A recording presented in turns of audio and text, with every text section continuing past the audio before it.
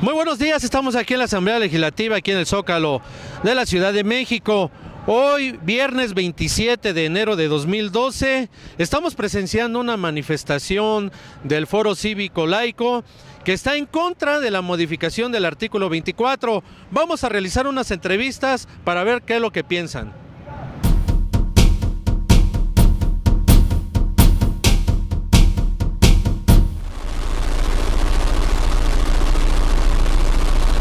Nos encontramos aquí en el Zócalo, en la Asamblea Legislativa, donde se están manifestando referente a la reforma del artículo 24. Hay muchos profesionistas y con nosotros se encuentra el licenciado Leonardo Vega. Muy buenas tardes. ¿Qué tal? Buenas tardes. Licenciado, ¿nos podría decir para nuestro medio cuál es la finalidad de esta manifestación? Mire, estamos eh, anunciando la creación de un foro cívico en el que se está integrando una serie de profesionistas, básicamente abogados, y el foro cívico se denomina Foro Cívico México Laico AC, el cual tiene como objeto el agrupar a la ciudadanía y a todas las organizaciones cívicas que están en protesta precisamente de esta reforma que se está pretendiendo del artículo 24. La intención de este foro cívico es eh, buscar que, haya una unión entre todas las organizaciones que se han manifestado en el interior de la República, en Tijuana, en Puebla, en Guadalajara, en Torreón, y con ello hacer un frente común, ese frente común buscando que ahora que la Cámara de Senadores va a entrar al estudio y del análisis del artículo 24, se permite escuchar la voz de la ciudadanía, porque la Cámara de Diputados no lo hizo. La Cámara de Diputados en una forma muy velada y muy eh, oscura de repente sacó la reforma sin permitir la participación de organismos ciudadanos que podrían manifestarse y dar su opinión en relación a este tema que es muy importante para el país.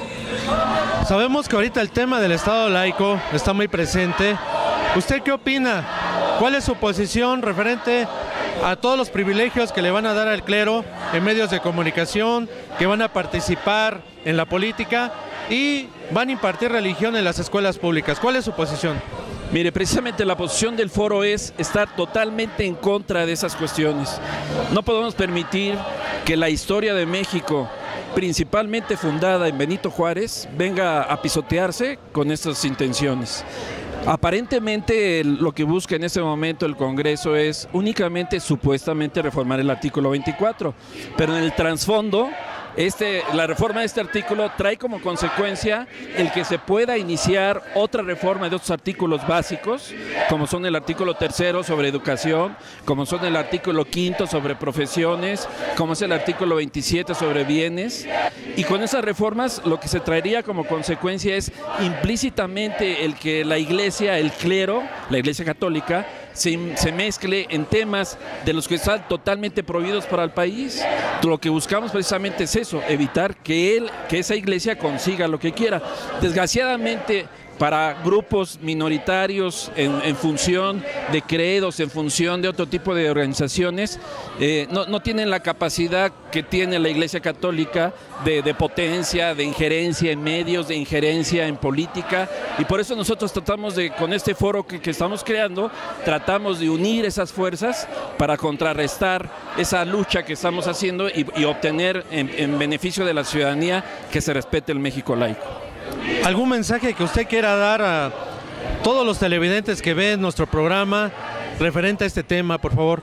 Mire, eh, quisiera invitarlos eh, para el día miércoles primero de febrero, en donde tendremos un evento masivo en el hemiciclo a Juárez eh, a las 11 de la mañana. En ese evento, en donde ya tenemos confirmada la participación de varios representantes de diversos organismos tanto de asociaciones religiosas como de otro tipo de organismos de representación ciudadana, en donde vamos a dar a conocer este foro cívico, vamos a dar a conocer los principios que buscamos con este foro cívico y vamos a dar, vamos a plantear un desplegado con la postura de, de este foro para efecto de que la ciudadanía la conozca y para que aquellas personas y grupos organizados que quieran se puedan unir a nosotros y hacer un frente común contra esta situación.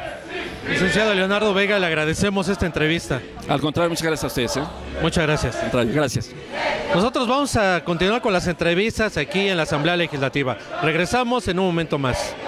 Regresamos a Emblemas TV aquí en la Asamblea Legislativa, donde profesionistas se están manifestando en contra de las reformas del artículo 24 y con nosotros se encuentra la licenciada Graciela Arriaga. Muy buenas tardes. Buenas tardes, gracias por estar con nosotros, gracias por cubrir el evento. Licenciada, antes que nada le agradecemos esta entrevista, pero nos gustaría que nos dijera para nuestro medio cuál es su posición referente a este artículo. Bien, no podemos estar de acuerdo con atropellos a nuestras libertades. No podemos estar de acuerdo con que nuestros derechos y libertades que han sido ganados a sangre y fuego por otras generaciones ahora sean moneda de cambio Debemos levantar la voz, debemos darnos cuenta de qué se trata la reforma, el proyecto de reforma al artículo 24 constitucional. Es importante que los senadores sean conscientes del enorme peso que cae en sus manos, de la responsabilidad que hay en este momento en cada uno de ellos al otorgar su voto a una reforma de esta envergadura sin haber hecho un análisis minucioso y sin haber convocado a los actores a un debate serio y de altura. ¿Cuál es su postura ante todos los privilegios que le van a dar al clero con este artículo? ¿Cuál es su postura de ustedes? Por supuesto, no podemos estar de acuerdo en semejante situación. No estamos de acuerdo en que se otorguen privilegios a ninguna asociación religiosa. Consideramos que debe haber libertades e igualdad para todos, en los mismos términos que la ley en este momento lo establece. La reforma no era necesaria, no es necesaria. México es un país plurirreligioso y en el marco de la legalidad en la que nosotros nos encontramos en este momento hemos podido coexistir de manera pacífica y respetuosa. No es necesaria la reforma al artículo 24. ¿Algún mensaje que usted quiera dar a todos los televidentes de nuestro programa, por favor? Muchas gracias. Es importante estar informados, es importante participar y en la medida en que nosotros estemos informados y nos hagamos responsables de lo que queremos y de lo que a nosotros nos conviene, en esa medida podremos avanzar mucho más como un país próspero y como un país eh, de derecho y de, y de libertades. Muchas gracias. Le agradecemos, licenciada, esta entrevista. Muchas gracias. Muchas gracias a ustedes. Gracias. Nosotros vamos a regresar con las entrevistas a profesionistas que se están manifestando aquí en la Asamblea Legislativa ubicada en el Zócalo. Regresamos en un momento más. Regresamos a Emblemas TV, el poder de la imagen y de la información. Continuamos con las entrevistas aquí en la Asamblea Legislativa y con nosotros se encuentra... Geyeli. ¿Usted qué opina referente a la reforma del artículo 24? Es una indignación que nosotros como ciudadanos, nosotros podamos aceptar algo tan detestable para nosotros, porque por algo murió Benito Juárez, para que nosotros, ¿verdad?, estuviéramos, estemos defendiendo nuestros derechos como mexicanos. Estamos con ese propósito de defender nuestros derechos, estaríamos volviendo a los antepasados. Sabemos que hay un enemigo al Estado laico. Nosotros estamos defendiendo lo que Benito Juárez hizo, separar el Estado de la religión. No nos imaginamos un escenario de un sacerdote dándole escuela a los niños. Pues le agradecemos esta entrevista, muchas gracias. De nada, gracias a ustedes. Regresamos en un momento más.